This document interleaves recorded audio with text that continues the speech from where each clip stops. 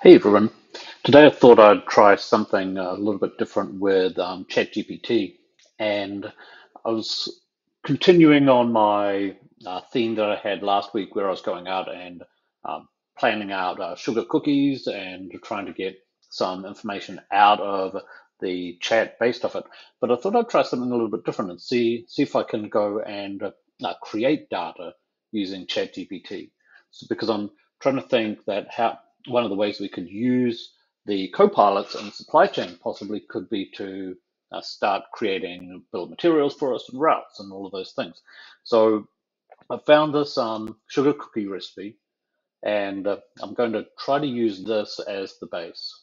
And as we scroll down, we've got some additional information, but in the end, we've got the ingredients and then the instructions that are associated with, with this uh, sugar cookie recipe. So let's go over to uh, the chat playground here within Azure Studio. And what I'm going to do is I'm going to start off with uh, a little bit of um, uh, prompting here. And what I'm going to do is I'm going to just tell tell ChatGPT that it's a Dynamics 365 Copilot, so it helps with creation of supply chain management information. Then also I'm going to say that you are designed to create data files so we can import into Dynamics. Also what I've got is I've um, told it that you can find the official schemas for Dynamics here on the Help uh, tab or the um, Help area within Dynamics. Then finally, I've just put a additional note here to say that unless otherwise um, mentioned, so for example, uh, unless I tell it to create a JSON file, then I just want it to return all the information as a table. So, so I've saved that and let's, let's just close down the assistant so that we're here within the view. Now, the first thing I'm going to do is I'm just going to tell it that this is the uh, URL that I've got that for creating the sugar cookie. Now, it's uh, it's pretty happy with that. And then, but what I'm going to do now is I'm going to say, create a bill of materials for me that I can use within Dynamics. So it's going out and it's telling me that uh, I need flour, baking powder, salt, sugar, and so forth. Now, uh, I want to change this and make it a little bit different. So I'm going to convert this recipe into a gluten and grain-free recipe.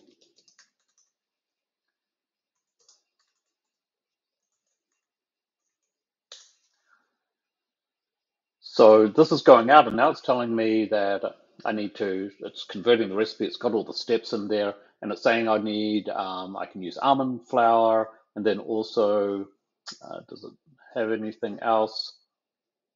It has um, some different sugar, so it's actually changed the sugar in there. And I could say, show me the bill of materials for this new recipe.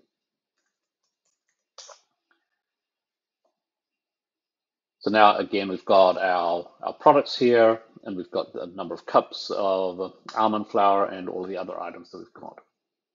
Now let's, let's go out and do something a little bit um, more detailed. Let's create a route for this recipe. And uh, so the route has got a couple of different things and it's got, in this case, it's got around about 11 steps. Now, what I can do is I can tell it uh, show me the relationships between these steps as they move through. So we're going to see that uh, the relationships should uh, should be calculated. Let me show this as a table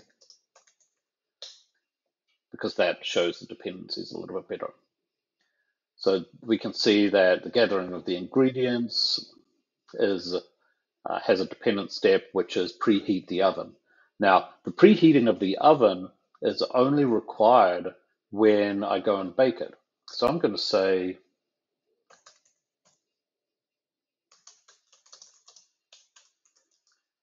uh, I'll say baking, the only step dependent on the preheating.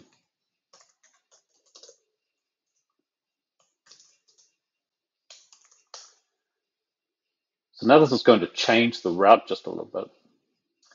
And then we can see that we've got the preheating of the oven has no dependent steps.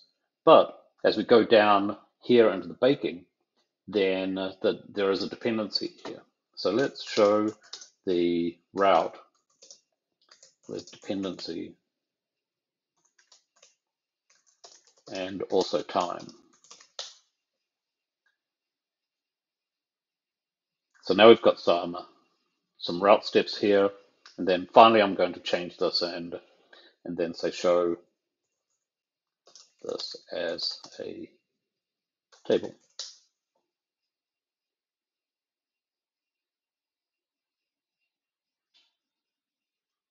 Now, one final thing that I'll do here, we haven't got any um, any information that's associated with this based off the station. So let's do show the resource acquired as well in the table. So I'm just building up this um, this little example here, and then we can see that where the preheating of the oven uh, requires the, the oven baking sheets and so forth. And then we've got mixing bowls and other items. So I've now gone out and created the route. So let's show me the route as JSON in the schema of supply chain management. Now what that's going to do is that's going to go out and create my uh, my route for me and then um, create it with um, with all the JSON files as well. So this is this is an example here. Let me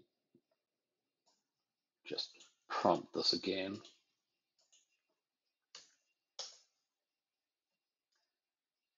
ChatGPT is now now going to create. So notice we've got also the the OData types we've got here. We've got the standard information that's associated with it, including resources. And then also we've got the uh, different steps that are being created. So while this is creating, I thought thought this was a really cool example because what we can do is we can start off with with a, a sample piece of information or a sample website, and then have ChatGPT go out and reformat that for us, and then uh, return back data in the format of, for example, routes or bill of materials that then possibly we could go and automate uh, and import into the system. So that was just the example that I wanted to show, and I thought it was pretty cool. So if uh, if you like it, then make sure you uh, click the like button, and if if you want to help me out, then maybe subscribe to my YouTube channel channel as well. So have a great day, everybody, and I'll send out some more information later on.